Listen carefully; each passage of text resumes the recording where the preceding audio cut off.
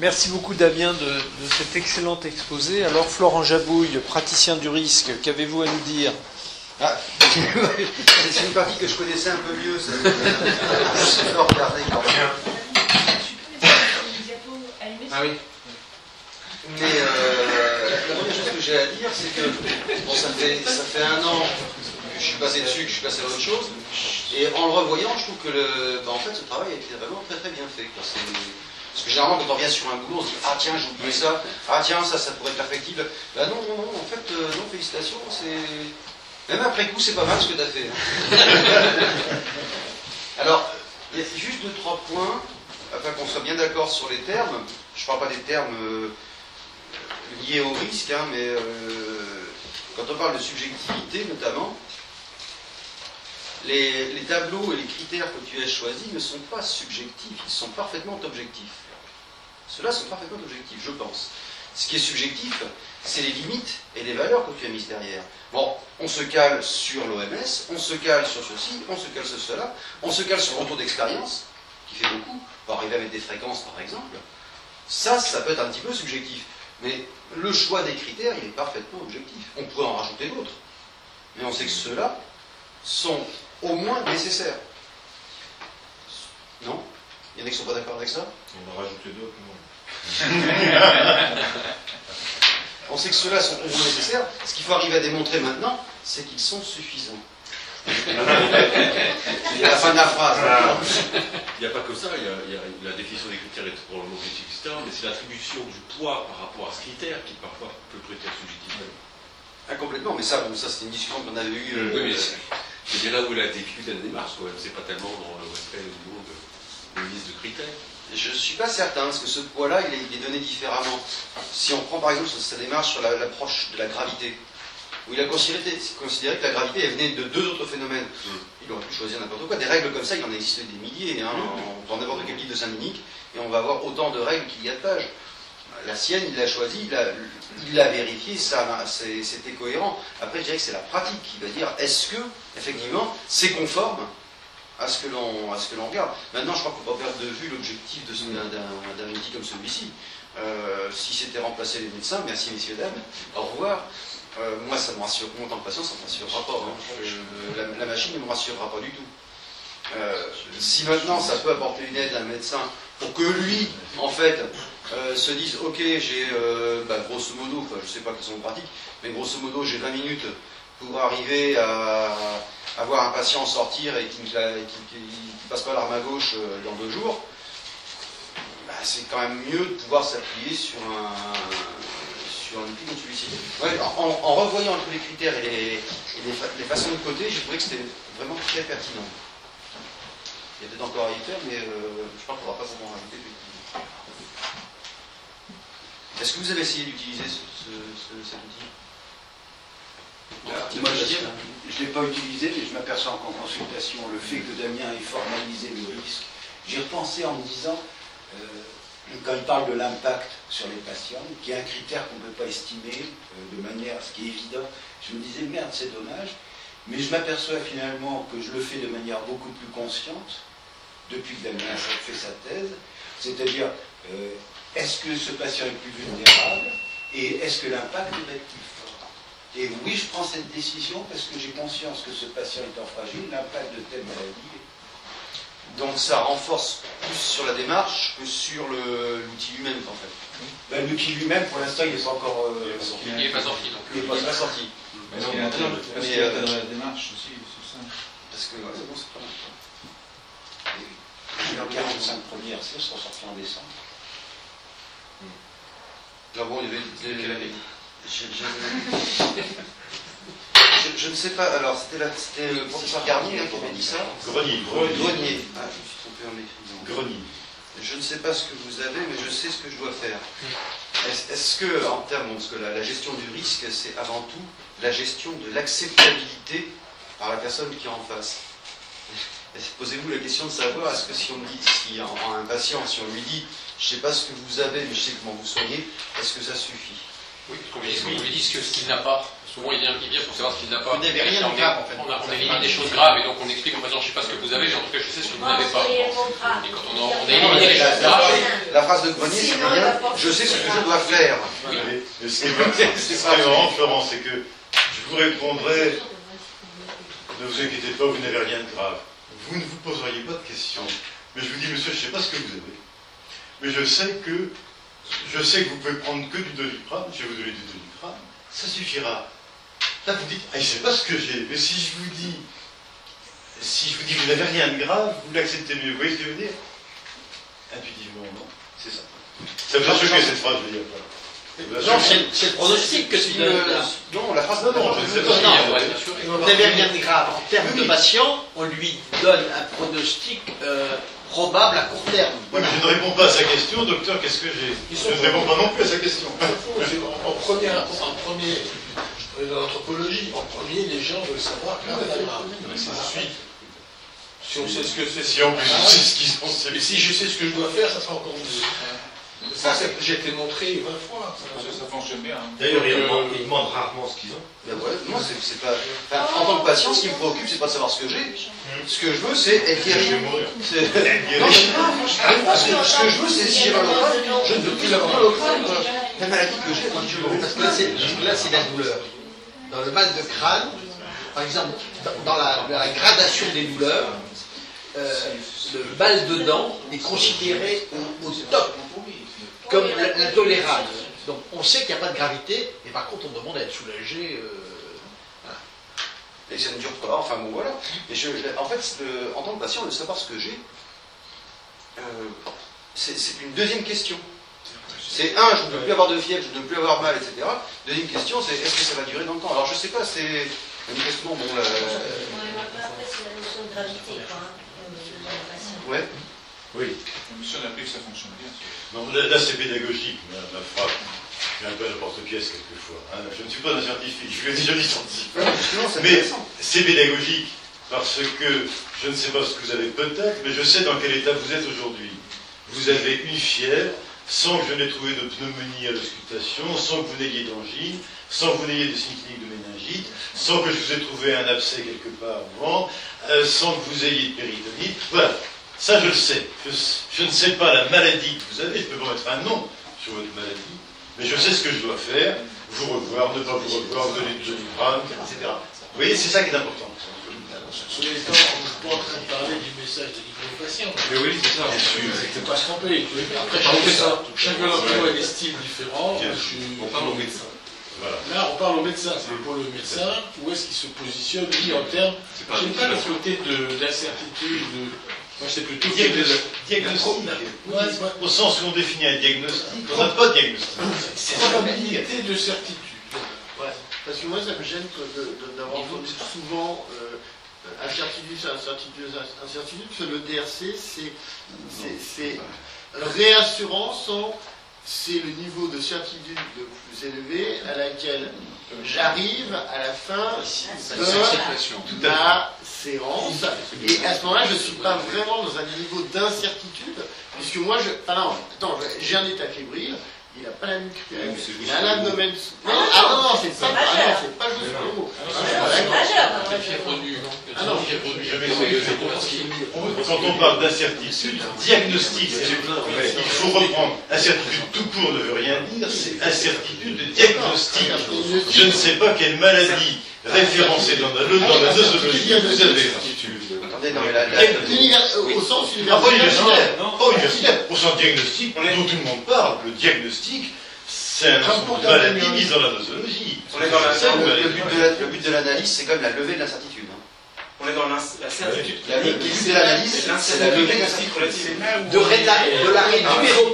L'analyse du risque, c'est la levée de l'arrêt numéro. C'est- C'est c'est la base. C'est l'arrêt complémentaire de l'autre. Oui. on parle de l'un ou de l'autre, c'est pas la moitié plein, la moitié vide. C'est pour ça que c'est tripé sur le mot C'est- certitude ou incertitude, je vois pas l'intérêt. C'est c'est la partie euh, centrale du sablier qu'on monte ou qu'on descend. On est dans une certitude clinique plus ou moins certaine et dans une incertitude diagnostique plus ou moins relative en fonction de ce qu'on a réussi à éliminer. Les diagnostiques. Est-ce que je peux, qu'à intervenir deux petites secondes, pour citer un exemple qui est, qui est très courant.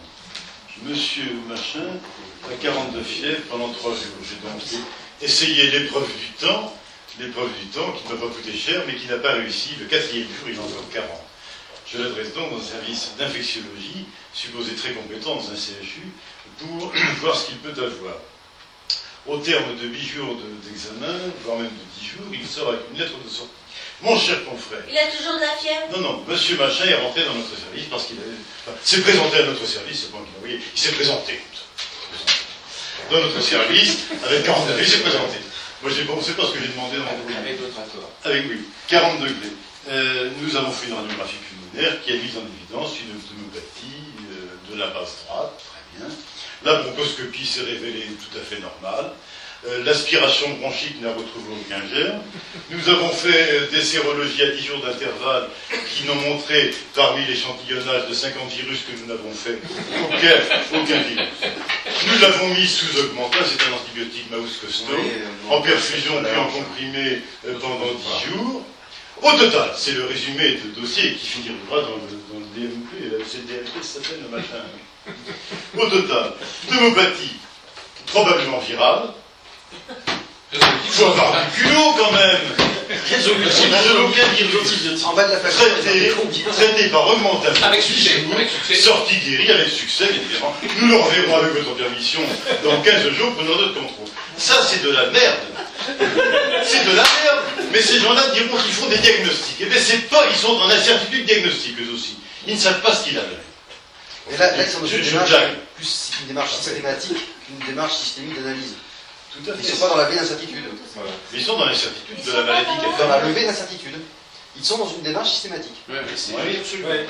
Alors, alors c'est ce- c'est deux pratiques différentes, mais que l'on a partout d'ailleurs, dans n'importe quel corps de soins. Ils ne font pas de diagnostic. Ils n'ont pas fait de Ah diagnostic. non, là, il n'y en a pas. Il n'y en a pas de diagnostic. Il y a un tableau de maladie pneumopathie. suivi un protocole. Ça ressemble un peu à une pneumopathie. Ça ressemble un peu, mais c'est pas un diagnostic non plus, voyez-vous. C'est ce que je voulais dire, que diagnostic, c'est bien il me semble que par rapport à la question du risque, on revient au risque. Ju- Juste une chose, une interrogation pour toi. J'avais noté d'emblée que la formule c'était manque d'éléments cliniques ou d'anamnèse. hein. Et que la question de la vulnérabilité était une question centrale, je suis tout à fait d'accord. Et que là, je n'ai pas vu, si tu veux, explicitement tous les paramètres sociaux dont on sait aujourd'hui qui sont au devant de la scène et que c'est avec ça, c'est-à-dire que ça a la même qualité et la même solidité en tant que données macro que les données d'épidémiologie médicale.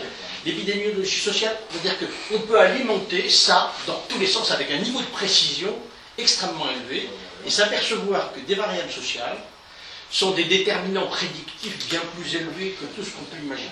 Donc, ça, pour moi, ça fait partie de, de la partie qui est à développer là. C'est-à-dire que c'est. oui, mais donc- ah oui, oui, non, mais si tu veux, on ne peut pas faire la chose suivante. On ne peut pas dire la médecine générale, c'est une discipline centrée sur la personne et reproduire là un centrage sur la maladie exclusive. Je dis ça, euh, euh, c'est pas, juste une formulation. Donc, en faisant, en ayant un scotope de perception sur les variables sociales et d'ailleurs sur d'autres variables Oui, les variables qui sont. sociales pour parce que- 30% de la population qui est pauvre, quoi. Ah, Il y a quand même 2 sur 3 pour lesquels on n'a rien à faire. Non, il y a aussi d'autres variables qui est l'interaction médecin-patient. Chez nous, c'est pas Le- la, la- la médecine, quand on a évoqué attends, ce que tu viens de faire, Pierre, la procédure, on pourrait se dire aussi, en termes de risque, quel est le risque de l'hospitalisation? Quel est le risque d'une infection iatrogène acquise de façon indue? Quel est le risque de la bronchoscopie? Quel est le risque? On pourrait dire à ce moment-là, en termes de santé, le patient a eu Deux un sur-risque, un sur-risque dans la procédure. Donc, je veux dire que ça fait partie des éléments de la décision. Mais là, je pense que vous balayez plusieurs typologies de risques. C'est habituel avec jean Et, quand vous parlez de vulnérabilité, ça c'est extrêmement important. Mais pour moi, encore une fois, je, je, je vois ça de l'extérieur, ce que vous dites me paraît parfaitement pertinent dans le cadre d'une médecine de proximité, euh, avec. Bon, il se trouve que j'ai un médecin, moi, depuis euh, très... pas trop, hein, très longtemps, et que c'est même, il me connaît. Euh, dans ce cas-là, effectivement, tous ces, euh, paramètres sociaux, on peut, les avoir en main. Je ne suis pas sûr qu'en 20 minutes, lorsqu'un médecin généraliste voit arriver un patient, je ne suis pas sûr que ce- ces critères-là ne sont plus pertinents, ni efficaces, ni efficients. Pourquoi Parce qu'on n'aura pas le temps matériel d'y répondre? Enfin, J'en ai peur.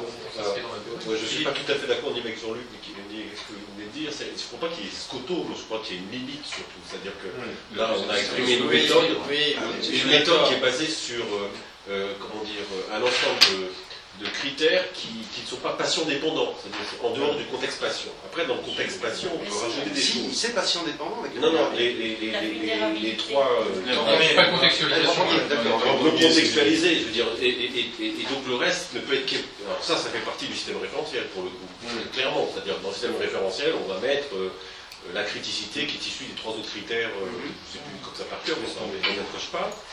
Et à côté, il y a des contextes d'éclairage patient, avec des contextes sociaux, des contextes morbides, des contextes que tu veux, et qui peuvent être opérationnels à partir du moment où on établit des règles qu'une informatique peut traiter. Je n'ai pas dit non plus que ça allait remplacer dans l'éclairage. Mais... Damien. Après, après, ce- ce critère d'atteinte du patient, la vulnérabilité, évidemment qu'il y a plein de paramètres qui rentrent en compte, voire euh, paramètres qu'on ne pense même pas, c'est c'est énorme. Mais en même temps, euh, ça, a, ça a tellement d'intérêt pratique cette méthode que l'estimation de la vulnérabilité en elle-même, elle est, en trois niveaux, quoi. Plus, moins ou pareil.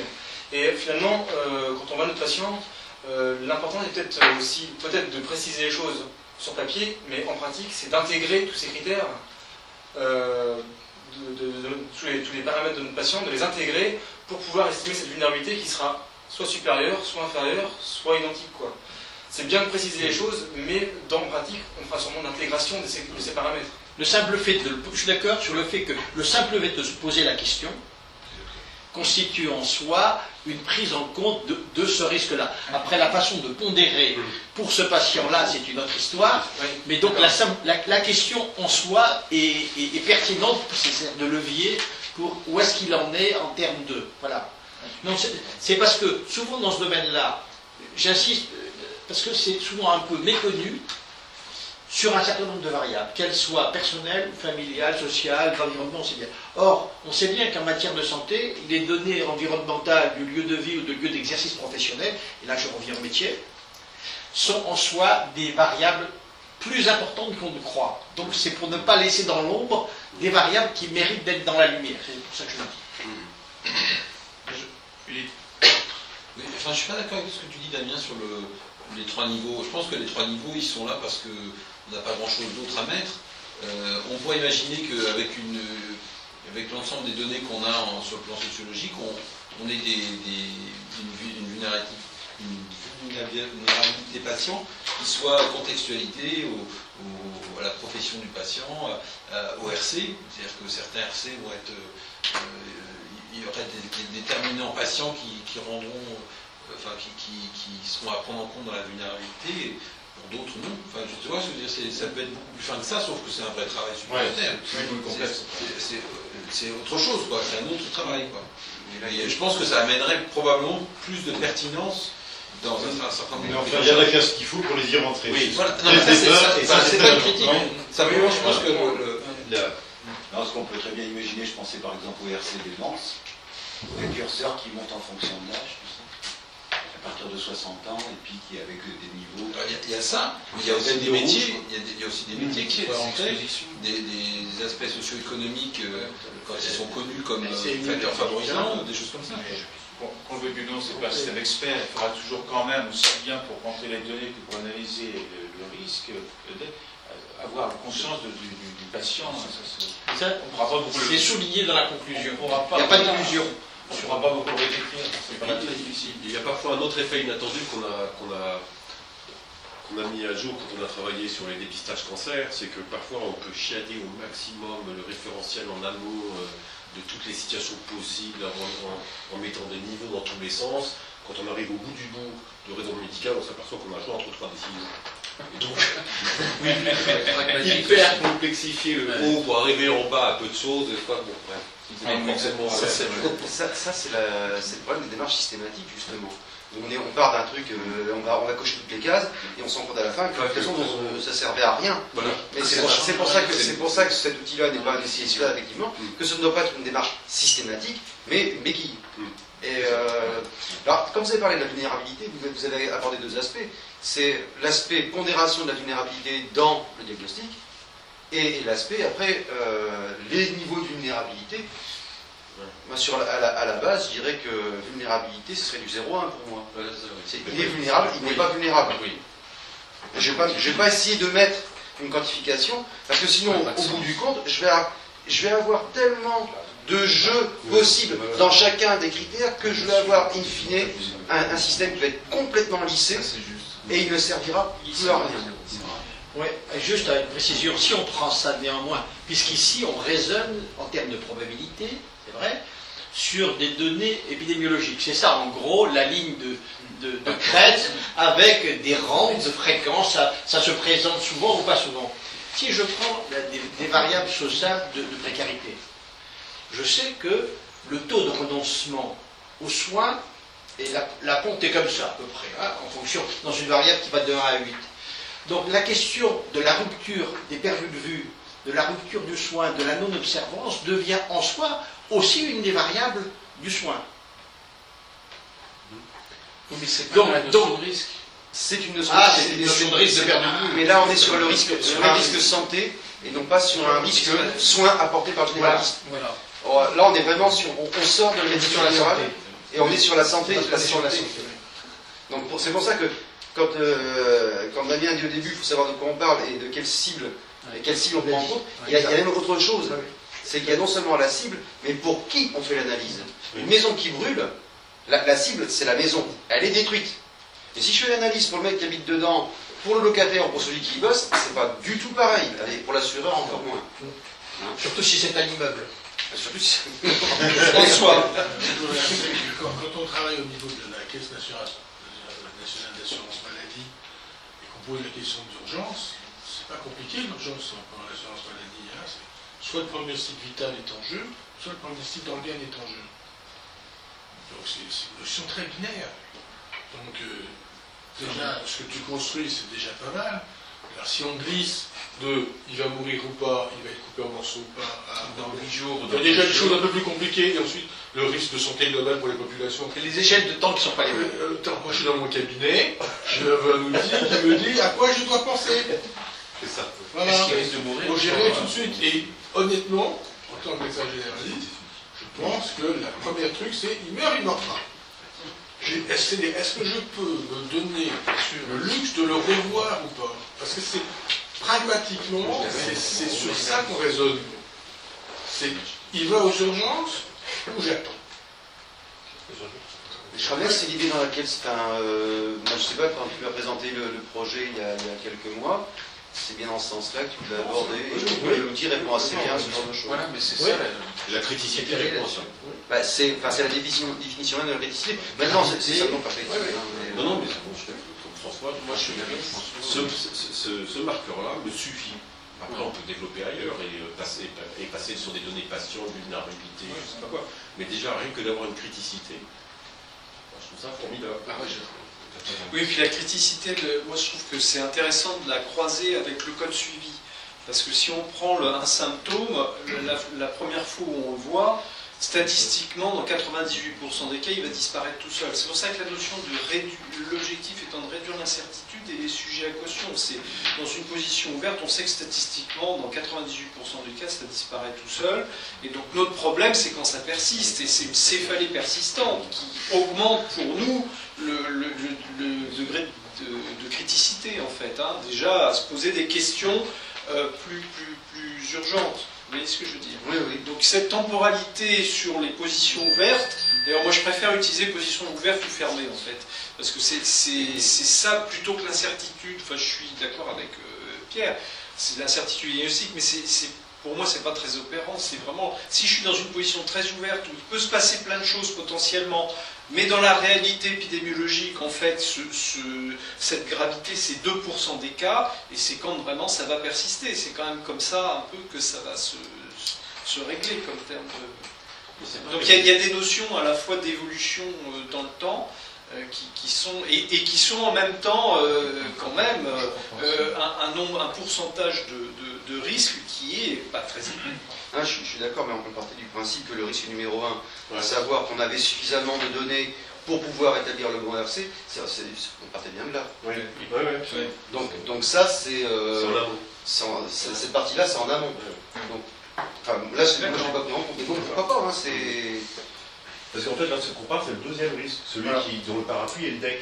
Si je Oui, voilà. Bah, le premier parapluie, c'est le RC lui-même. Voilà. C'est l'expérience. là, bon, ça, ça peut s'étendre à beaucoup plus, hein, parce qu'on peut prendre le, le risque de l'acte médical, on avait un peu discuté. L'acte médical, à partir du moment où le patient euh, téléphone pour dire euh, je veux un rendez-vous, généralement c'est qu'il se sent malade. Soit, soit il est trop Oh, Ça, c'est encore. C'est hors sujet pour l'instant. Heureusement que non. soit euh, il adore son médecin, il aime bien y passer son temps, et le médecin est souvent en retard, il passe plus de temps encore. C'est pas, pas votre cas. Je rêve. Très bien. Jouissance. On va faire la pause. Et pour le risque épidémiologique, Tu vois, moi, j'ai- dans l'exposé, il y a- il il un minuscule truc sur lequel, euh, qui est encore à l'écran d'ailleurs, euh, refusé car il s'agit d'un diagnostic différentiel. J'arrive pas à comprendre pourquoi il y a ce refus. D'ARC différentiel. Alors, c'est la question. Non, mais non, c'est- finir la question. Il n'a pas encore posé la question. Il doit Oui. intervenir, mais il n'a pas posé la question. C'est classique chez nous. Moi, dans les formations que j'ai faites, euh, sans votre accord et sans votre sabotage, pour essayer d'exprimer le deck, je vais montrer dans mon truc de. comment on appelle ça Enfin, bon, bref, peu importe. Pour moi, le deck, c'est un arbre avec une queue touffue qui dépasse. Et la queue touffue, c'est soit une belette, un renard, un loup, un chien. Moi, le risque, quand je vais aller par là, c'est soit d'attraper la rage, soit d'être bouffé tout cru, soit soit rien du tout, quoi. Mais en gros, il y a un truc qui dépasse, qui pourrait être, si je change mon angle de vision, et donc je fais évoluer la situation, qui peut être n'importe quoi, dangereux, pas dangereux, moyennement dangereux, je ne sais pas quoi. Et en quoi, quand on dit ça, ça en- en- enlève la possibilité de retenir des diagnostics différentiels, qui finalement peuvent présenter des symptômes communs, qui dans leur évolution peuvent aussi mimer, entre guillemets, euh, ce qui se cache vraiment derrière. C'est pour ça qu'on disait c'est pas le diagnostic, erreur. C'est une erreur, C'est un RC différentiel. Oui, mais c'est pareil. Ah, non, c'est pas pareil. entre une folliculite et une activité, un médecin doit choisir entre les deux RC. Ah, Est-ce que c'est une Il a folliculite, montré tout à l'heure. que- l'infection d'un poil, ou est-ce que c'est une activité qui n'est pas du tout l'infection d'un poil Ça, c'est c'est là. On admet que ce risque-là, c'est le premier risque. Et ça, il n'y est plus. Plus. Bon, il faut que tu corriges ça, tu vas te faire engueuler chaque fois, ils vont t'enfermer chaque fois avec. Un RC différent. Un RC différentiel, c'est bon. Mais pas différentiel, Sauf que dans, possible. sauf que dans une première diapo, il y avait un RC avec les decks, et dans les decks, il y avait le RC diabète de Oui. type 1. Presque. Allez, je vous propose qu'on fasse la pause, 15 minutes. decks. Je voudrais savoir si, vous avez lu ce qu'a écrit Rossovski sur un, sur un machin assez qui s'appelle Analyse de la scène de danger. De De quand ça date, c'est étonnant. Ça date de. Bah oui. Moi j'ai ça, ça date de moins de 5 ans. Bah oui. Et c'est. Rodoski n'a pas écrit ça. Il y a moins de 5 ans, il n'a pas écrit ça. Et si, si. Il y a moins de 5 ans, il a écrit ça Ah, je sais bien que tu veux tuer Rossovski, mais ça va. Non, le, on le tue pas, on le dit. Non, ce qui est intéressant, c'est que quand vous avez commencé